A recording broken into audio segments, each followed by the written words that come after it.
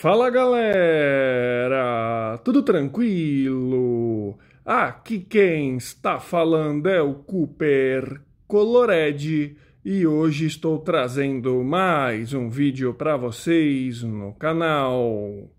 Neste vídeo eu vou ensinar a como mudar, trocar o idioma do navegador Opera no celular ou smartphone.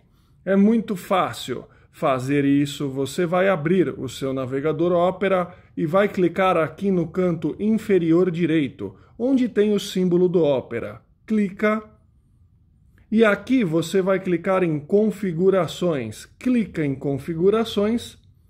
E aqui você vai baixar e procurar por idioma. Aqui, idioma, você clica em idioma e clica em cima do idioma que você quer que o navegador Opera fique. Depois que você clicar, ele vai reiniciar rapidamente já no idioma que você escolheu, ok?